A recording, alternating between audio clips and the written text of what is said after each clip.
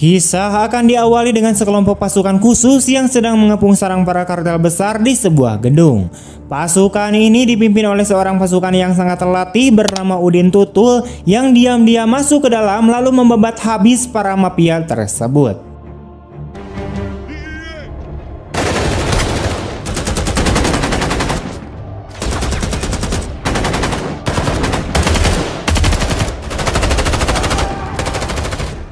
Udin kemudian berhadapan langsung dengan bos dari mafia tersebut. Namun mudah bagi Udin untuk melumpuhkannya, tetapi saat dia akan menghabisinya, rekan Udin mencegahnya karena kantor pusat menginginkan bos mafia itu dalam keadaan hidup. Kemudian Udin mendekati pintu gudang yang terlihat mencurigakan dan menemukan tiga orang sandera yang sudah tewas akibat tertembak oleh Udin saat pertempuran tadi. Melihat hal itu, dia pun merasa sangat menyesalinya karena ia baru saja menghabisi tiga orang yang tidak berdosa.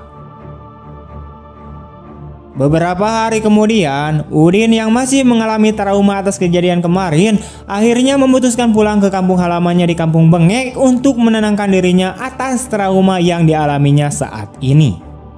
Sesampainya di rumah, Udin pun langsung disambut oleh istrinya dan kedua putrinya yang sudah menantinya. Saat sedang makan malam, Udin teringat kembali dengan bayangan ketika Sandra yang tak sengaja ia habisi. Sang istri pun mencoba menenangkannya dan memberikan saran kepada Udin agar si Udin ini segera melakukan pengobatan ke psikiater.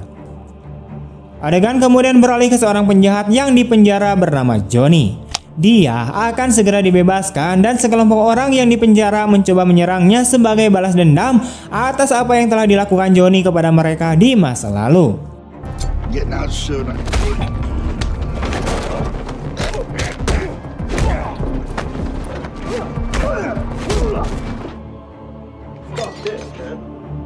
Johnny dengan mudah mengalahkan musuh-musuhnya dan duduk untuk menyalakan sebatang rokok.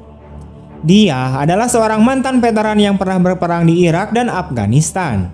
Selain itu, melalui perilaku yang baik, dia berhasil meyakinkan pihak berwenang bahwa dia layak mendapatkan kesempatan kedua dan dibebaskan dari penjara.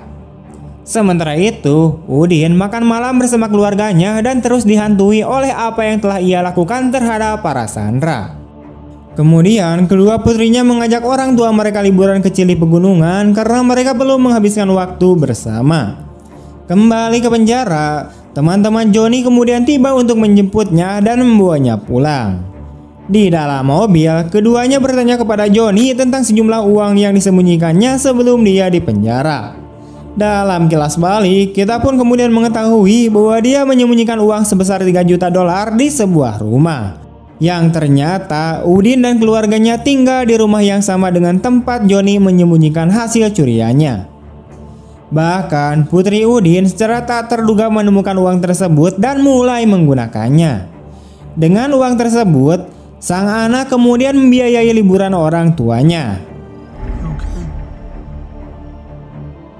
Suatu malam, ketika gadis itu mengambil lebih banyak uang dari tas, saudara perempuannya kemudian menemukannya dan bertanya di mana dia menemukan uang tersebut. Mereka pun berdebat karena salah satu dari mereka berpikir bahwa mereka tidak boleh menyentuh uang itu jika itu bukan milik mereka. Di sisi lain, saudara perempuan yang lain menganggap bahwa itu adalah miliknya sekarang karena dia telah menemukannya. Sementara itu, Johnny dan teman-temannya pergi menemui saudaranya. Johnny menekankan bahwa mereka harus mengambil uang tersebut secara diam-diam tanpa menarik perhatian siapa pun. Malam itu, geng tersebut kemudian tiba di rumah Udin. Seorang pria kemudian keluar dari mobil dan mulai memeriksa rumah tersebut. Ketika dia kembali ke mobil, dia pun mengungkapkan kepada yang lain bahwa ada empat orang di dalam rumah. Pada saat itu, Udin yang sedang ngalindur atau tidur sambil berjalan tiba-tiba bangun dan mengambil pistolnya. Dia menuruni tangga dan menembak ke arah jendela yang digunakan geng tersebut untuk menyelinap ke dalam rumah. Ketiganya kemudian melarikan diri dan Udin terbangun dengan ketakutan. Istrinya pun juga terbangun dan segera mengambil pistol dari tangan si Udin. Dia merasa bersalah dan mengatakan kepada istrinya bahwa dia bisa pergi untuk memastikan keselamatan mereka, tetapi istrinya memintanya untuk tetap tinggal. Keesokan harinya, seorang teman lama Udin yaitu Sebastian mengunjunginya untuk minum dan berbicara. Udin memintanya untuk tetap tinggal untuk melindungi keluarganya kalau dia kehilangan kendali lagi. Dia mendapat bantuan dari seorang dokter yang menjelaskan bahwa apa yang dialaminya adalah hal yang normal setelah trauma tersebut. Sementara itu, kaki tangan Joni memberitahu dia tentang karir si Udin. Jadi, Joni meminta bantuan temannya yaitu seorang perwira polisi dan menjanjikan 10% dari 3 juta dolar. Woodin kemudian berbicara dengan psikolog yang menyarankannya untuk pergi berlibur dengan istrinya dan bersantai sehingga ini kemungkinan bisa membantunya pulih dari trauma. Suatu hari, Udin kemudian dibawa ke kantor polisi dan teman polisi Joni memberitahunya bahwa dia memiliki surat perintah penangkapan terhadapnya. Namun demikian, Udin menyadari bahwa surat perintah tersebut belum ditandatangani oleh hakim sehingga tidak sah. See, I was in the service myself post-traumatic stress. Polisi tersebut kemudian menghubungi Joni dan memberitahunya bahwa rencana itu tidak berhasil dan Udin bebas untuk pergi. Sore itu, Udin dan istrinya kemudian berangkat untuk berlibur ke pegunungan meninggalkan kedua putri mereka di rumah.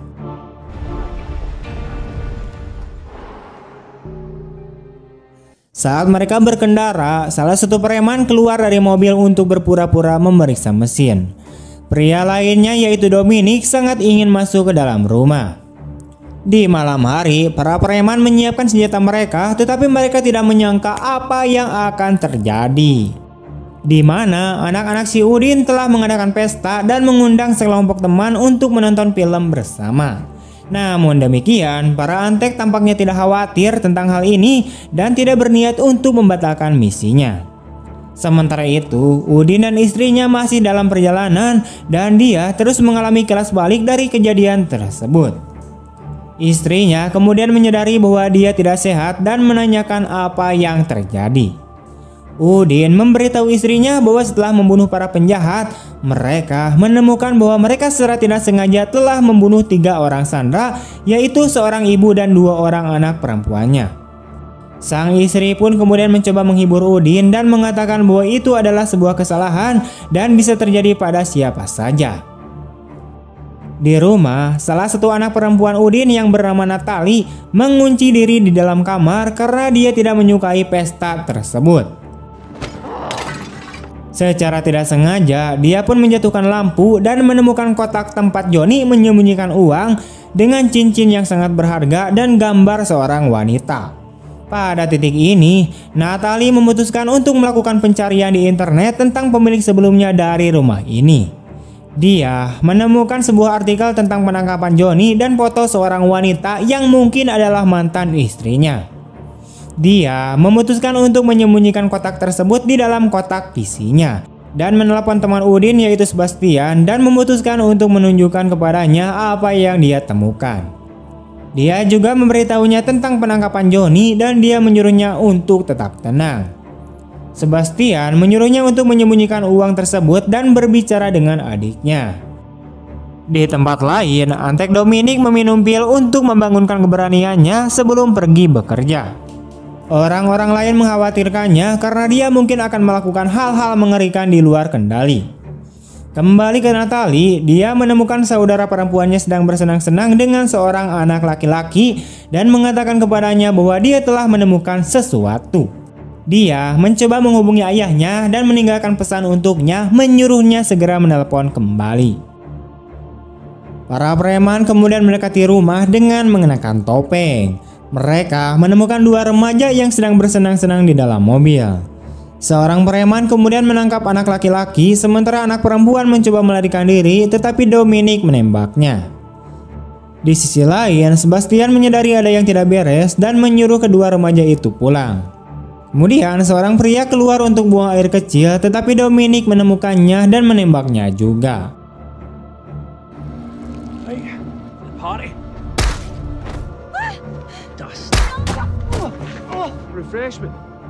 Para preman kemudian masuk ke dalam rumah dan Dominic terus membunuh para remaja itu. Sementara itu, Natalie mengunci diri di dalam kamar dan bersembunyi di bawah tempat tidur. Dia segera menelepon telepon ibunya dan Udin menjawabnya. Sayangnya, dia tidak mendengarkannya dengan baik dan mengatakan bahwa dia akan segera meneleponnya kembali nanti.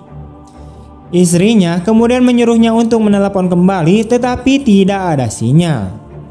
Di dalam rumah, Dominic masuk ke dalam kamar Natalie dan menemukannya. Ketika Udin akhirnya menemukan sinyal, dia melihat pesan Natalie bahwa ada penjahat yang masuk ke dalam rumah. Udin tidak tahu apakah ini berhalusinasi lagi atau itu nyata. Tetapi istrinya kemudian mengonfirmasikan bahwa ini adalah nyata. Dia segera mencoba menelepon Sebastian tetapi dia tidak menjawab. Jadi mereka memutuskan untuk segera kembali ke rumah. Sementara itu, para antek mulai menemukan uang yang disembunyikan di dalam rumah dan setelah mereka membawa hasil curiannya ke dapur, salah satu antek menyatakan bahwa mereka memiliki masalah. Mereka menemukan semuanya kecuali cincin istri Joni yang sudah meninggal. Selain itu, saudara laki-laki Joni menyatakan bahwa 100 ribu dolar telah hilang dari 3 juta dolar yang seharusnya mereka temukan dan mendekati saudara perempuan Natali menanyakan di mana uang itu.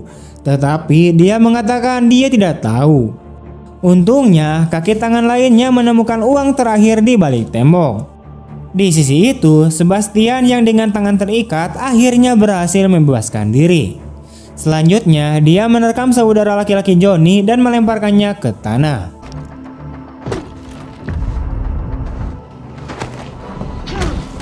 Antek lainnya kemudian datang dan menendang kepala Sebastian. Antek tersebut kemudian memanggil Johnny dan memberitahunya bahwa saudaranya sudah mati. Adegan kemudian beralih ke perkelahian jalanan. Ray, seorang teman lama Johnny, berkelahi dengan seorang pria lain. Ray berhasil mengalahkan lawannya dan kemudian bertemu dengan Johnny yang sudah lama tidak ia temui. Johnny mengungkapkan bahwa seseorang telah membunuh saudaranya dan menyuruh mereka untuk mengikutinya karena dia memiliki pekerjaan untuk mereka. Kemudian Johnny dan sekelompok preman tiba di rumah Udin. Johnny menemukan mayat saudaranya lalu ia mengambil pisau dan menikam Sebastian hingga tewas.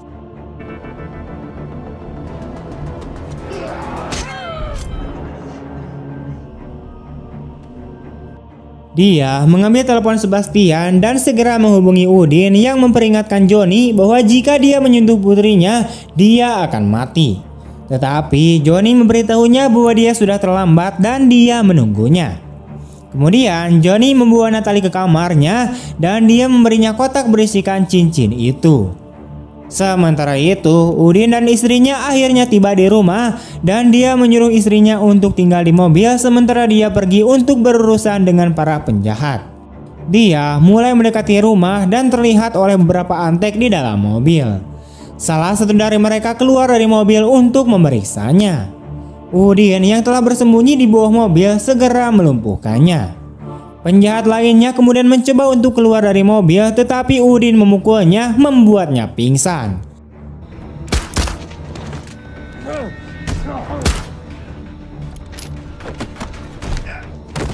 Udin kemudian berjalan melewati rumah tersebut dan membunuh dua preman lainnya. Saat dia berjalan, seorang antek kemudian muncul di belakangnya dan mencoba memukul kepalanya, tetapi Udin menjatuhkannya ke tanah. Kemudian dia menerima pesan dari istrinya memberitahukan bahwa dia telah menelpon polisi. Domini kemudian pergi keluar dan menemukan mayat-mayat itu. Udin memasuki rumah tersebut dan menemukan anak perempuan pertama yang ia suruh keluar dan melarikan diri. Kemudian seorang antek mencoba menikamnya tetapi Udin melihat bayangannya dan membunuhnya seketika.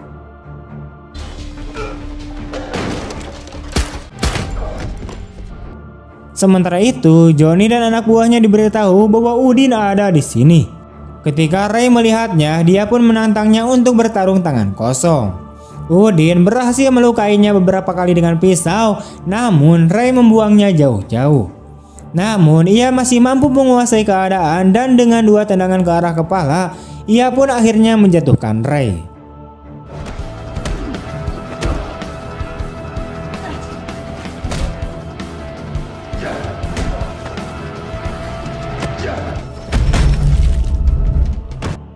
Dominic memasuki rumah dengan membawa pistol dan Udin mengejutkannya dari belakang. Dominic mencoba menembaknya, namun Udin membalikan tangannya ke arah dirinya sendiri dan menarik laptopnya. Selanjutnya, dia naik ke lantai atas. Seorang kaki tangan Johnny bernama Trey sedang menyandera Natalie dan mengancam Udin bahwa dia akan membunuhnya. Namun demikian, Udin mengerahkan pistol ke arahnya dan membunuhnya dengan satu tembakan. Kemudian dia memeluk putrinya dan menyuruhnya lari ke bawah. Udin memanggil nama Johnny dan mengatakan kepadanya bahwa hanya mereka berdua yang tersisa. Dia membuka pintu kamar yang ditempati Johnny dan melemparkan tubuh Trey ke dalam yang kemudian ditembak oleh Johnny beberapa kali.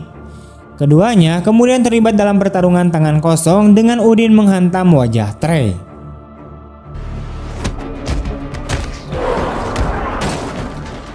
Tak lama kemudian, polisi korup akhirnya tiba dan Udin berhasil meyakinkannya untuk menembak Joni lalu membagi uangnya dan pergi. Polisi korup itu pun setuju dan membunuh Joni. Tetapi kemudian istri Udin tiba dan menembak polisi itu.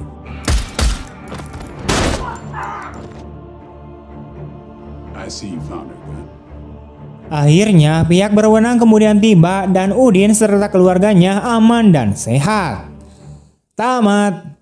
Oke, pesan moral yang dapat kita ambil dalam film ini jangan lupa makan biar sehat. Terima kasih telah menonton. See you next time and bye-bye.